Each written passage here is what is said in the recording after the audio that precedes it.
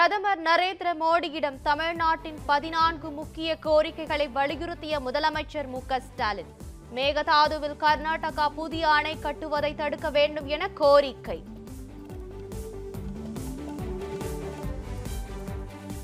தமிழ்நாடு மின் உற்பத்தி மற்றும் பகிர்மான கழகத்திற்கு கூடுதல் நிலக்கரியை ஒதுக்க வேண்டும்.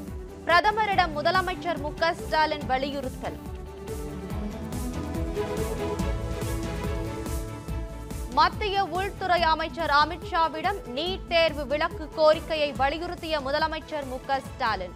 நீட் தேர்வினால் தமிழ்நாடு மாணவர்கள் சந்திக்கும் பாதிப்புகள் குறித்து விளக்கம்.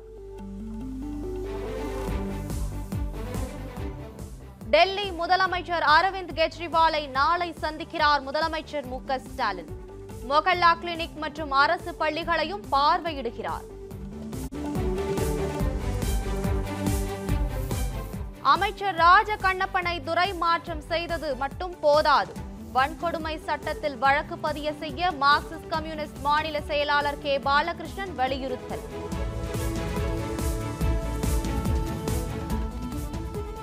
மயிலாப்பூர் கபாலீஸ்வரர் கோயில் மயில் சிலையை கண்டுபிடிக்க உண்மை கண்டறியும் குழு அமைப்பு. சென்னை உயர்நீதிமன்றத்தில் இந்து சமய அறநிலையத்துறை தகவல்.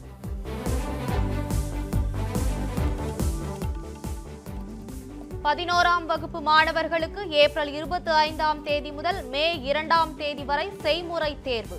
அரசு தேர்வுகள் இயக்ககம் அறிவிப்பு.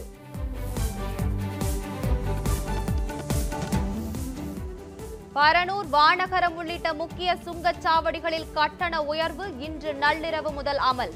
எரிபொருள் விலையை தொடர்ந்து சுங்க கட்டணமும் உயர்வதால் வாகன ஓட்டிகள் அவதி.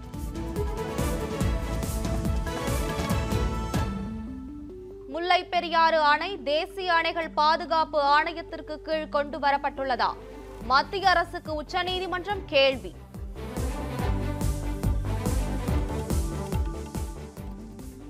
புதுச்சேரியில் முதலமைச்சர் ரங்கசாமியின் ஆட்சியை கவிழ்க்க பாஜக முயற்சி. முன்னாள் முதலமைச்சர் நாராயணசாமி குற்றச்சாட்டு.